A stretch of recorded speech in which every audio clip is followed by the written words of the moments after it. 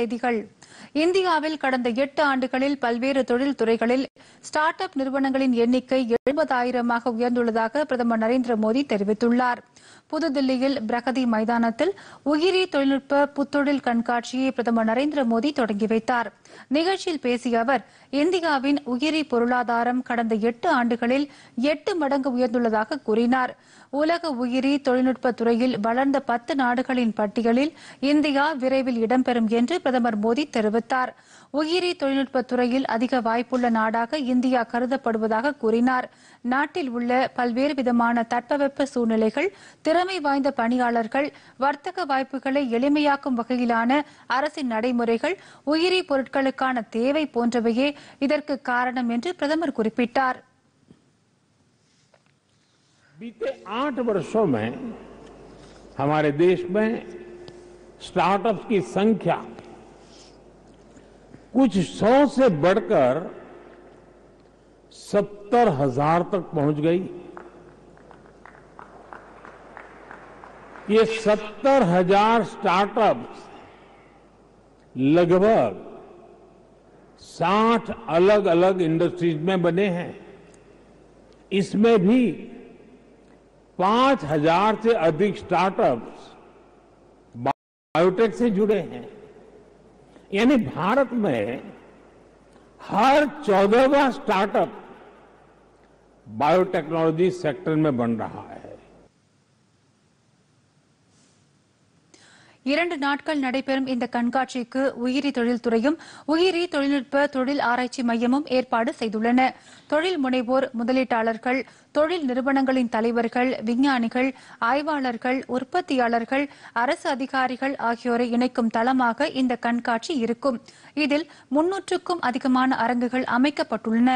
சுகாதார பாதுகாப்பு தொழில்நுட்பம் உயிரி மருந்து தொழில்துறை உயிரி தொழில்நுட்பம் கழிவிலிருந்து மதிப்புறு பொருட்களை உருவாக்குதல் உள்ளிட்ட பல்வேறு துறைகளில் உயிரி தொழில்நுட்ப பயன்பாட்டை விளக்குவதாக இந்த கண்காட்சி அமையும் என்று பிரதமர் அலுவலக செய்திக்குறிப்பில் தெரிவிக்கப்பட்டுள்ளது.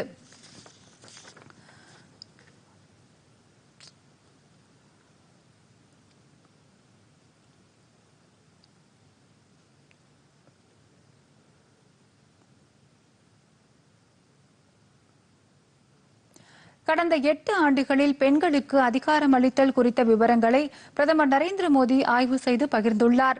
பெண்களுக்கு மேலும் அதிகாரம் அளிப்பதற்கான புதிய முன்னுதாரணத்தை ஏற்படுத்தி உள்ளதாகவும் அவர் குறிப்பிட்டுள்ளார். பிரதமர் நரேந்திர மோடி பெயரிலான வலைதளம் மற்றும் எனது அரசு டுவிட்டர் தளத்தில் நாரி சக்தி திட்டத்தின் கீழ் பெண்களின் முன்னேற்றத்திற்காக எடுக்கப்பட்டுள்ள நடவடிக்கைகள் குறித்த விவரங்கள் இடம்பெற்றுள்ளன. இவற்றை பிரதமர் மோடி பகிர்ந்துள்ளார். மகளிர் அதிகாரம் அளித்தல் மற்றும் பெண்கள் மேம்பாட்டுத்துறை சார்பில் மேற்கொள்ளப்பட்டுள்ள பல்வேறு திட்டங்கள் இந்த வலைப்பக்கத்தில் இடம்பெற்றுள்ளதை சுட்டிக்காட்டியுள்ள பிரதமர் இவற்றை படிப்பதன் மூலம் பெண்களுக்கு மேலும் அதிகாரம் அளிப்பதற்கான புதிய முன் உதாரணத்தை ஏற்படுத்தியுள்ளார் உள்ளதாக குறிப்பிட்டுள்ளார். பல்வேறு துறைகளில் கண்ணியத்துடன் பெண்களுக்கு உரிய வாய்ப்புகள் வழங்கப்பட்டுள்ளதையும் அதற்காக எடுக்கப்பட்டுள்ள முயற்சிகள் பற்றியும் பிரதமர் சுட்டிக்காட்டியுள்ளார். குடியரசுத் தலைவர் தேர்தல் ஜூலை மாதம் பதினெட்டாம் தேதி நடைபெறும் என்று தேர்தல் ஆணையம் அறிவித்துள்ளது. புதுதில்லியில் இன்று செய்தியாளரிடம் பேசிய தலைமை தேர்தல் ஆணையர் ராஜீவ் குமார் தற்போதைய குடியரசுத் தலைவர் ராம்நாத் கோவிந்த் பதவிக்காலம் ஜூலை இருபத்தி நான்காம் தேதியுடன் நிறைவடைய உள்ள நிலையில் புதிய குடியரசுத் தலைவருக்கான தேர்தல் ஜூலை பதினெட்டாம் தேதி நடைபெறும் என்று தெரிவித்துள்ளார். தேர்ந்தெடுக்கப்படும் புதிய குடியரசுத் தலைவர் ஜூலை இருபத்தி ஐந்தாம் தேதி பதவியேற்பார் என்றும் அவர் கூறினார். குடியரசுத் தலைவர் தேர்தலில் மொத்த வாக்குகளின் மதிப்பு பத்து லட்சத்து எண்பத்தி ஆறாயிரத்து நானூற்று முப்பத்தி ஒன்றாகும். நாடாளுமன்றம் மாநில சட்டப்பேரவைகளில் குடியரசுத் தலைவர் தேர்தலுக்கான வாக்குப்பதிவு நடைபெறும். மொத்தம் எழுநூற்று எழுபத்தி ஆறு நாடாளுமன்ற உறுப்பினர்கள் நான்காயிரத்து முப்பத்தி மூன்று சட்டப்பேரவை உறுப்பினர்கள் தேர்தலில் வாக்களிக்க உள்ளனர். வேட்புமனு ஏற்கப்பட்ட ஐம்பது நாடாளுமன்ற உறுப்பினர்கள் அல்லது எம்எல்ஏக்கள் வேட்பாளரை முன்மொழிய வேண்டும். தேர்தல் ஆணையம் வழங்கும் பேனா மூலம் மட்டுமே வாக்களிக்க வேண்டும் என்றும் தலைமை தேர்தல் ஆணையர் குறிப்பிட்டார். குடியரசுத் தலைவர் தேர்தலுக்கான வேட்புமனு தாக்கல் ஜூன் பதினைந்தாம் தேதி நடைபெறும். வேட்புமனுக்களை தாக்கல் செய்ய கடைசி நாள் ஜூன் இருபத்தி ஒன்பதாம் தேதி ஜூன் முப்பதாம் தேதி பரிசீலனை செய்யப்படும். வேட்புமனுக்களை திரும்பப் பெற ஜூலை இரண்டாம் தேதி கடைசி நாளாகும். குடியரசுத் தலைவர் தேர்தலில் பதிவான வாக்குகள் ஜூலை இருபத்தி ஒன்றாம் தேதி எண்ணப்பட்டு முடிவுகள் அறிவிக்கப்படும் என்றும் தலைமை தேர்தல் ஆணையர் ராஜீவ்குமார் தெரிவித்தார். Nomination would be 29th June, that is Wednesday. Date for scrutiny of nominations would be 30th June, that is Thursday. Last date for withdrawal of candidature would be Saturday, that is 2nd of July 2022. And date on which a poll shall, if necessary, be taken is 18th of July 2022, that is, that happens to be Monday. Thereafter, we collect all the ballot boxes and bring it back to Delhi. And date on which counting, if required, shall be taken and result declared, that would be 21-7-2022. Well in advance, then the 24th of July, the date of, last date of the Honorable President being in the office.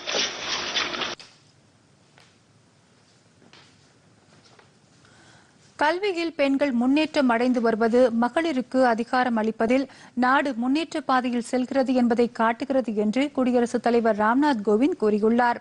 பல்வேறு நிகழ்ச்சிகளில் பங்கேற்பதற்காக ஜம்மு சென்றடைந்த குடியரசுத் தலைவர் ராம்நாத் கோவிந்தை விமான நிலையத்தில் துணைநிலை ஆளுநர் மனோஜ் சின்ஹா மலர் கொத்து கொடுத்து வரவேற்றார்.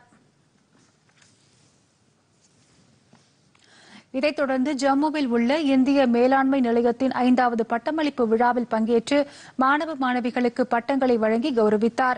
இந்த நிகழ்ச்சியில் எழுபத்தி ஏழு மாணவிகள் பட்டம் பெற்றது குறிப்பிடத்தக்க அம்சமாகும். நிகழ்ச்சியில் பேசிய குடியரசுத் தலைவர் ஜம்மு காஷ்மீரில் உயர்கல்வியில் புதிய அத்தியாயம் தொடங்கியிருப்பதாக தெரிவித்தார்.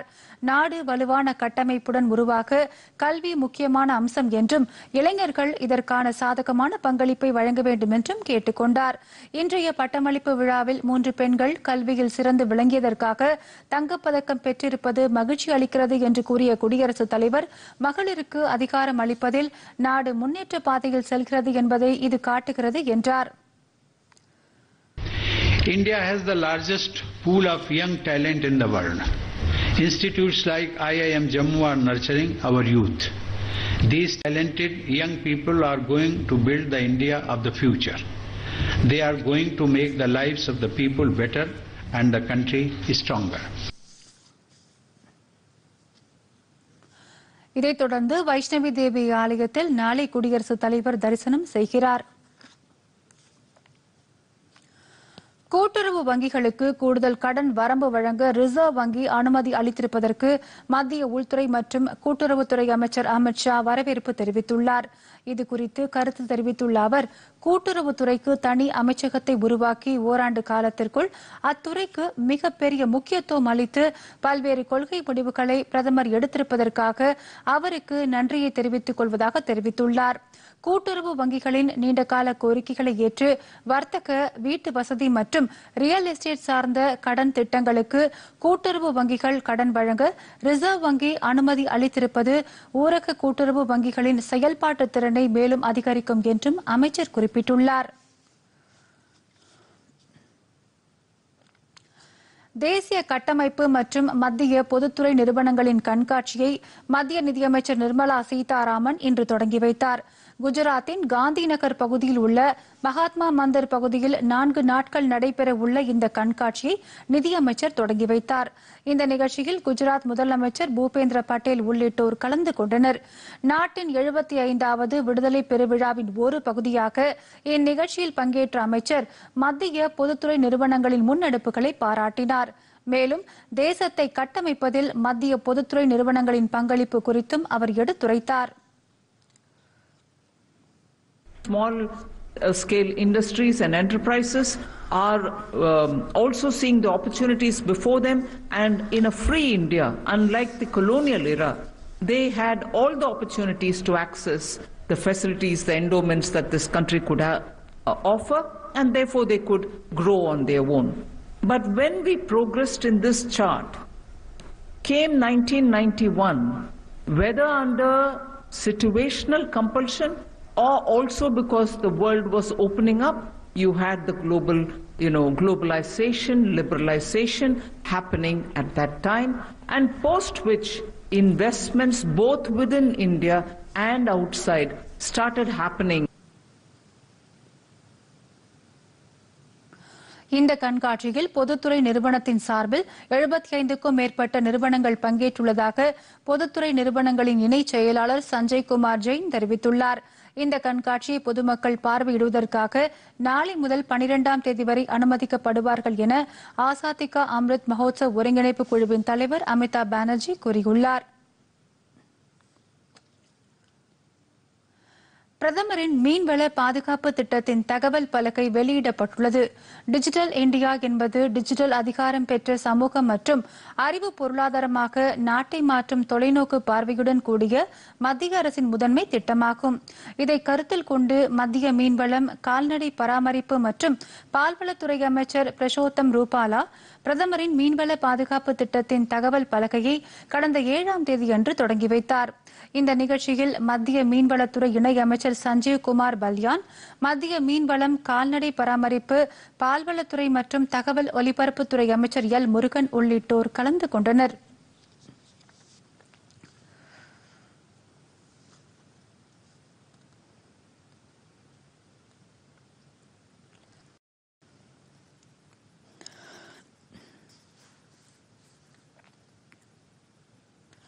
இதற்கிடையே தமிழ்நாட்டில் நாமக்கல் ஓசூர் மதுரை கடலூர் உள்ளிட்ட நகரங்களில் நடைபெறும் நிகழ்ச்சிகளில் பங்கேற்பதற்காக மத்திய இணையமைச்சர் எல் முருகன் இன்று இரவு கோவை வந்தடைந்தார். விமான நிலையத்தில் அவருக்கு பிஜேபி நிர்வாகிகள் அரசு அதிகாரிகள் உள்ளிட்டோர் வரவேற்றனர்.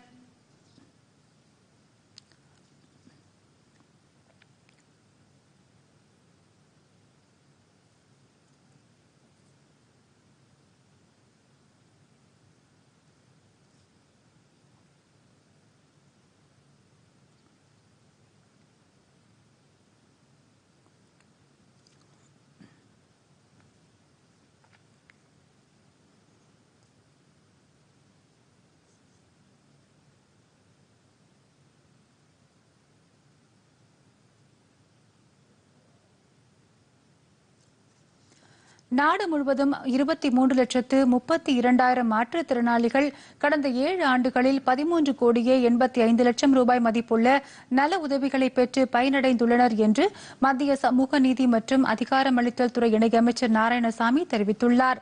மத்திய அரசின் அலிம்கோ நிறுவனத்தால் திருவண்ணாமலை மக்களவை தொகுதியில் மாற்றுத்திறனாளிகளுக்கு உபகரணங்கள் வழங்கும் சமூக வலுவூட்டல் முகாம் இன்று நடைபெற்றது. இதில் அமைச்சர் நாராயணசாமி கலந்து கொண்டு இரண்டாயிரத்து ஐம்பத்தி இரண்டு பயனாளிகளுக்கு இரண்டு கோடியே ஏழு லட்சத்து எழுபத்தி மூன்றாயிரம் ரூபாய் மதிப்பிலான நலத்திட்ட உதவிகளை வழங்கினார்.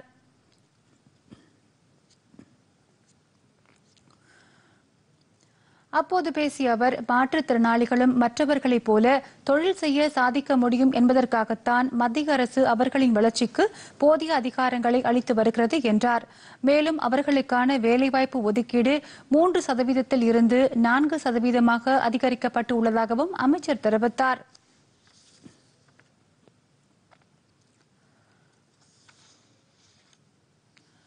கன்னியாகுமரியில் எழுபத்தி ஐந்தாவது சுதந்திர பெருவிழா கண்காட்சியை மத்திய ரயில்வே நிலக்கரி மற்றும் சுரங்கத்துறை இணையமைச்சர் ராவ் சாஹேப் பாட்டில் தன்வி தொடங்கி வைத்தார். மத்திய தகவல் மற்றும் ஒலிபரப்புத்துறை அமைச்சகத்தின் தென்மண்டல கள அலுவலகம் சார்பில் நடத்தப்பட்ட இந்த கண்காட்சியில் உரையாற்றிய அமைச்சர் இதுபோன்ற கண்காட்சிகள் விடுதலை போராட்டத்தின் அதிகாரப்பூர்வ தகவல்களை வழங்குவதுடன் இளம் தலைமுறையினர் இடையே தேசபக்தி உணர்வை ஊட்டுவதாகவும் தெரிவித்தார்.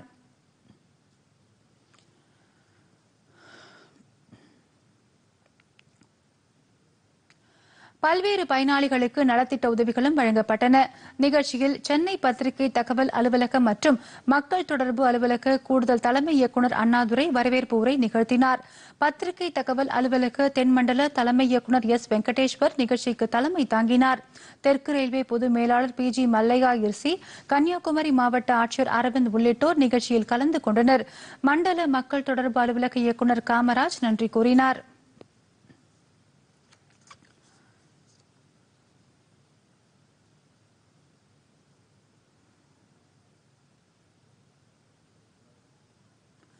சிறிய இடைவேளைக்கு பிறகு செய்திகள் தொடரும்.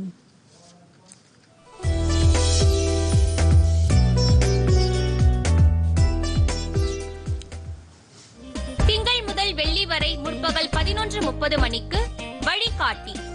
நம் பாரத பிரதமரின் மக்கள் நல திட்டங்கள் நாட்டின் கட்டமைப்பு மகளிர் மேம்பாடு வளர்ச்சி திட்டங்கள் வேளாண் வளர்ச்சி திட்டம் தொழில் முனைவு பொருளாதார மேம்பாடு இன்னும் பல திட்டங்கள் பற்றி துறைசார் வல்லுநர்கள் பங்கேற்கும் வழிகாட்டி இதன் மறு ஒலிபரப்பு இரவு பதினொன்று முப்பது மணிக்கு பொதிகையுடன் இணைந்திருங்கள்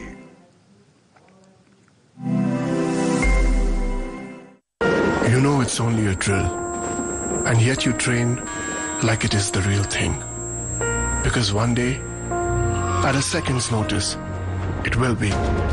One day, you'll come together as an invincible team. And every second you save will be a life saved. The Indian Air Force is looking for an exceptional team. A team that is truly a cut above. Join the Indian Air Force to be a cut above.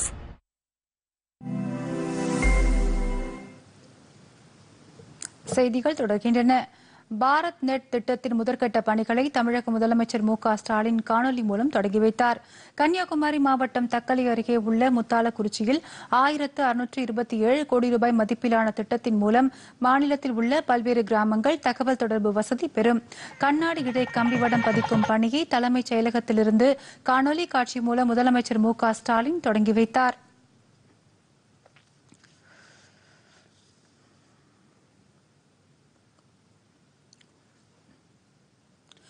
மாமல்லபுரத்தில் அடுத்த மாதம் இருபத்தி எட்டாம் தேதி முதல் August பத்தாம் தேதி வரை நடைபெறவுள்ள நாற்பத்தி நான்காவது செஸ் ஒலிம்பியாட் இரண்டாயிரத்தி இருபத்தி இரண்டாம் ஆண்டிற்கான முன்னேற்பாடுகள் குறித்த ஆய்வுக் கூட்டம் முதலமைச்சர் மு க ஸ்டாலின் தலைமையில் சென்னை தலைமைச் செயலகத்தில் இன்று நடைபெற்றது.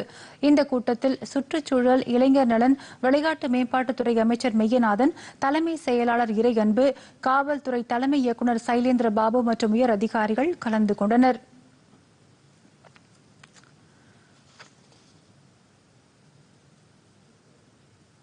ஓராண்டு கால திமுக ஆட்சியில் தமிழக மக்களுக்கு எந்த நன்மையும் ஏற்படவில்லை என்று எதிர்க்கட்சித் தலைவர் எடப்பாடி பழனிசாமி கூறியுள்ளார்.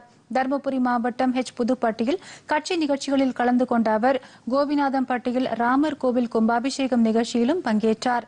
பின்னர் பேசிய அவர் இதை தெரிவித்தார். முந்தைய அதிமுக ஆட்சியில் நிறைவேற்றப்பட்ட திட்டங்களைத்தான் முதலமைச்சர் ஸ்டாலின் இப்போது திறந்து வைத்து வருவதாகவும் தேர்தல் வாக்குறுதிகளை திமுக முழுமையாக நிறைவேற்றவில்லை என்றும் அவர் தெரிவித்தார்.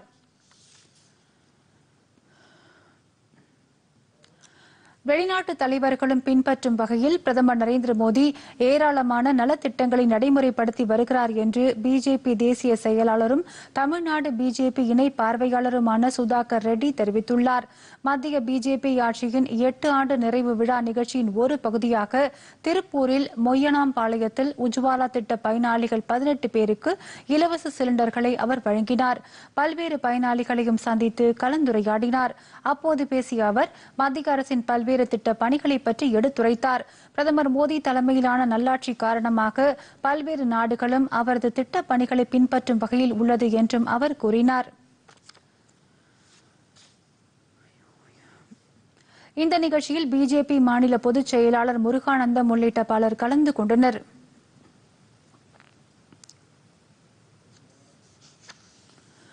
கடந்த எட்டு ஆண்டுகளில் நெல்லுக்கான குறைந்தபட்ச ஆதார விலையை மத்திய அரசு ஐம்பத்தி எட்டு சதவீதம் உயர்த்தியிருப்பதாக பிஜேபி மாநில தலைவர் அண்ணாமலை கூறியிருக்கிறார். சேலம் மாவட்டம் ஏற்காடு நாகலூர் கிராமத்தில் மலைவாழ் மக்களுடனான சந்திப்பு நிகழ்ச்சியில் அண்ணாமலை கலந்து கொண்டார். நிகழ்ச்சியில் பேசிய அவர் இயற்கை வளங்களை பாதுகாக்கும் மலைவாழ் மக்களின் நலனுக்காக மத்திய அரசு பல்வேறு நடவடிக்கைகளை எடுத்து வருகிறது என்றார்.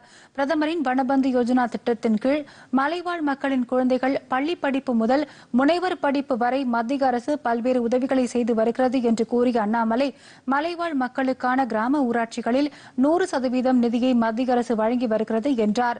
பின்னர் செய்தியாளரிடம் பேசிய அண்ணாமலை நெல் உள்ளிட்ட பதினான்கு விளைபொருட்களுக்கு மத்திய அரசு குறைந்தபட்ச ஆதார விலையை உயர்த்தியிருப்பது விவசாயிகள் மத்தியில் மிகப்பெரிய வரவேற்பை பெற்றுள்ளது என்றார். நெல்லுக்கு மட்டும் கடந்த எட்டு ஆண்டுகளில் ஐம்பத்தி எட்டு சதவீதம் விலை உயர்த்தப்பட்டுள்ளது என்பது மட்டற்ற மகிழ்ச்சியாக உள்ளது என்று பெருமிதம் தெரிவித்த அவர் ஒவ்வொரு வருடமும் விலையை உயர்த்தி விவசாயிகளின் பாதுகாவலராக பிரதமர் மோடி திகழ்கிறார் என்பது இதிலிருந்து தெரிந்து கொள்ளலாம் என்றார். மேகதாது பிரச்சனையில் அணை கட்டப்படக்கூடாது என்பதுதான் தமிழக பாரதிய ஜனதா கட்சியின் நிலைப்பாடாக உள்ளது என்றும் அவர் உறுதிபட தெரிவித்தார்.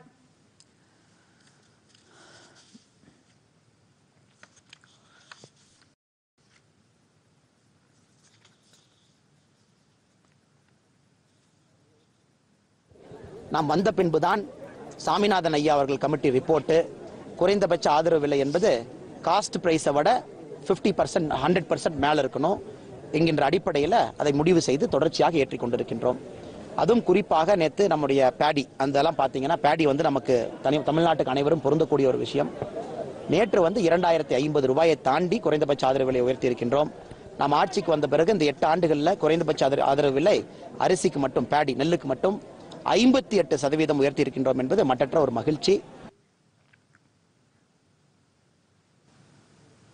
இந்தோனேஷியா மாஸ்டர்ஸ் பேட்மிண்டன் தொடரில் பி. வி. சிந்து லக்ஷயா சென் ஆகியோர் காலிறுதி சுற்றுக்கு முன்னேறியுள்ளனர். ஜகார்த்தாவில் நடைபெற்று வரும் போட்டியில் இன்று நடைபெற்ற ஆடவர் ஒற்றையர் பிரிவு காலிறுதிக்கு முந்தைய சுற்று ஆட்டத்தில் இந்தியாவின் லக்ஷயா சென் டென்மார்க்கின் ராஸ்மஸ் ஜெம்கேவை எதிர்கொண்டார். இதில் இருபத்தி ஒன்று பதினெட்டு இருபத்தி ஒன்று பதினைந்து என்ற நேர் செட் கணக்கில் லக்ஷயா சென் வெற்றி பெற்று காலிறுதிக்கு முன்னேறினார்.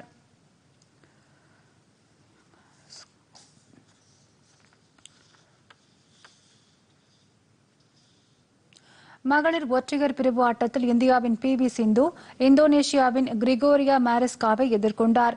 இந்த போட்டியில் இருபத்தி ஒன்று இருபத்தி மூன்று இருபத்தி இரண்டு இருபது பதினொன்று இருபத்தி ஒன்று என்ற செட் கணக்கில் வெற்றி பெற்று காலிறுதி சுற்றுக்கு சிந்து முன்னேறினார்.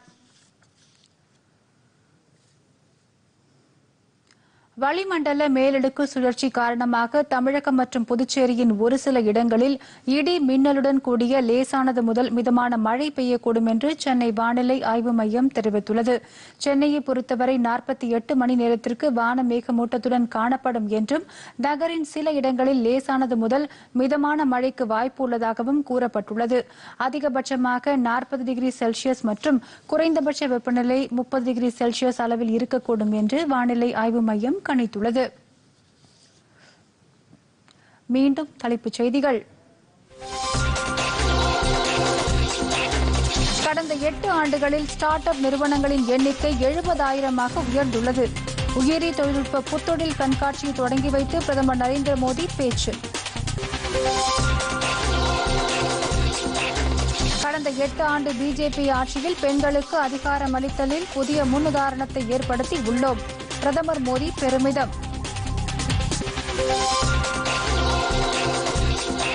அடுத்த மாதம் பதினெட்டாம் தேதி குடியரசுத் தலைவர் தேர்தல் நடத்தப்படும் என தேர்தல் ஆணையம் அறிவிப்பு. வேட்புமனு தாக்கல் வரும் பதினைந்தாம் தேதி தொடங்குகிறது. கூட்டுறவு வங்கிகளுக்கு கூடுதல் கடன் வரம்பு வழங்க ரிசர்வ் வங்கி அனுமதி. மத்திய அமைச்சர் அமித்ஷா வரவேற்பு.